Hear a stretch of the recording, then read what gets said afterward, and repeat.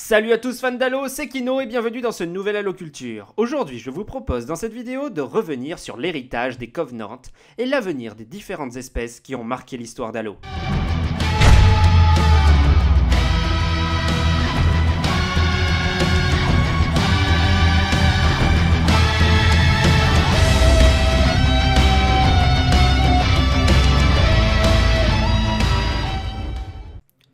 Les prophètes, à la tête des Covenants, écrivirent leur propre fin.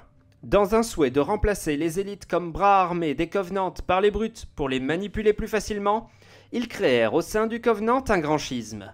Alors en pleine guerre contre les humains, les élites quittèrent l'Alliance, luttant alors côte à côte avec les humains contre leurs différents ennemis communs, les Covenants et le Parasite. C'est ainsi que sur l'Arche, le 11 décembre 2553, meurt le dernier haut prophète, le prophète de la vérité, alors qu'il était aux portes d'accomplir son souhait en activant l'arche et de réaliser le grand voyage. Les espèces formant les Covenants se séparèrent alors, retournant sur leur monde natal. Pour autant, on dénombre quelques exceptions, comme des grognards ou des brutes restant fidèles à leur commandant élite, formant des sectes ou des bandes de pillards l'Alliance Covenant avait duré tellement de temps que certaines espèces, comme les élites, tombèrent dans de lourdes difficultés à réinstaurer un équilibre politique et économique, plongeant les leurs dans un chaos. Certains rapaces, et même grognards, ont maintenu des contacts avec les autres espèces et instauré des systèmes de mercenariat.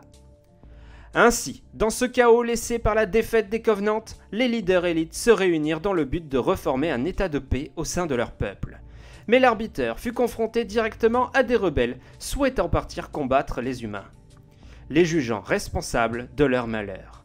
L'arbitre ne parvint pas à leur faire entendre raison et vit sa planète natale sombrer dans une nouvelle guerre civile, les années sanglantes.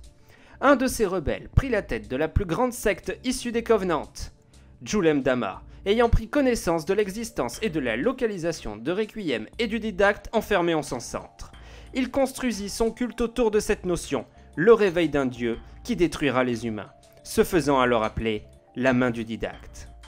Ainsi, ces nouveaux covenants ne s'articuleront plus autour du grand voyage, mais de la perception des forerunners comme des dieux et du souhait d'en rencontrer.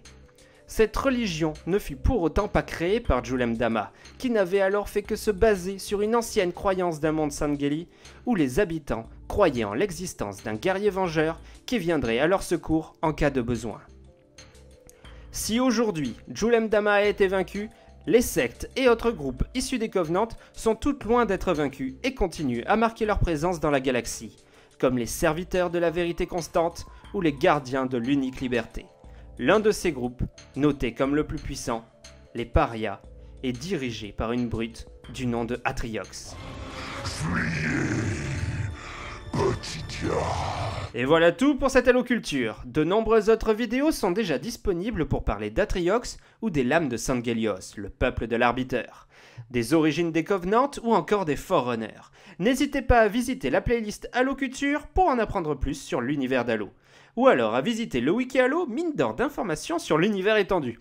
En description, des liens vous mèneront sur le groupe Facebook Halo.fr ou sur le Discord pour trouver d'autres fans francophones et partager votre passion pour Halo.